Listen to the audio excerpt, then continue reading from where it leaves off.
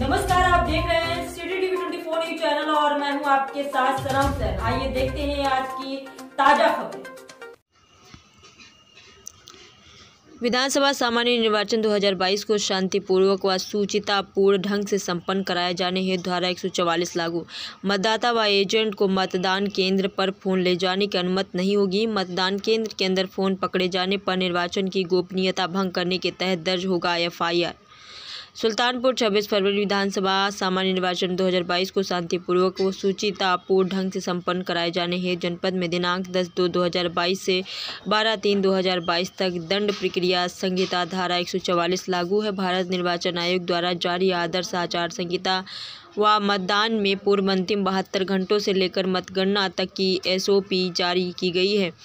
चूँकि स्थानीय अभिसूचना व परीक्षण के अनुसार कुछ ऐसी गतिविधियाँ हैं जिन पर नियंत्रण मतदान व्यवस्था को शांतिपूर्ण बनाए रखने हेतु तो आवश्यक है, जिसके क्रम में दिनांक 25 दो 2022 से मतदान के दिन यदि कोई पुनर्मतदान आवश्यक हो तो उसके समाप्ति तक पूरे जनपद सुल्तानपुर में दंड प्रक्रिया संहिता की धारा एक के तहत निम्न प्रतिबंध लागू रहेगा।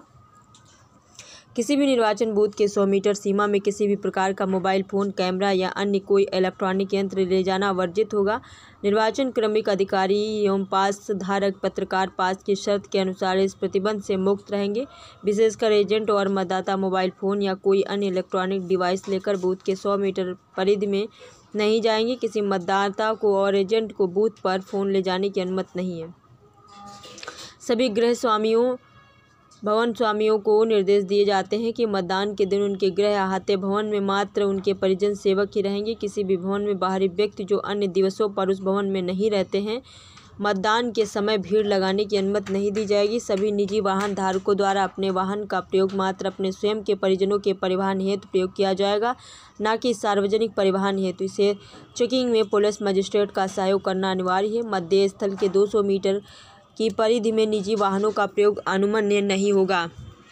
दंड प्रक्रिया संहिता के अंतर्गत शासकीय अधिकारी को जोनल वार्ड सेक्टर मजिस्ट्रेट नियुक्त किया गया है, उन्हें निधि विधि व्यवस्था के अंतर्गत कार्यपालक मजिस्ट्रेट की सभी शक्य प्रदान की गई है।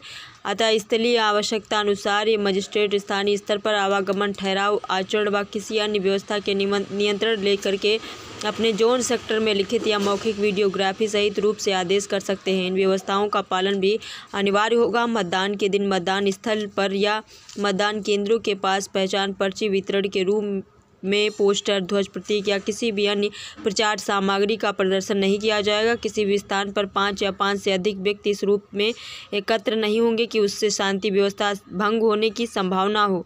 उपयुक्त आदेश, पूर्व में पारित आदेश संख्या सात सौ बासठ जे ए दिनांक दस दो दो हज़ार बाईस का अंग होगा। सुल्तानपुर से डॉक्टर जितेंद्र कुमार उपाध्याय।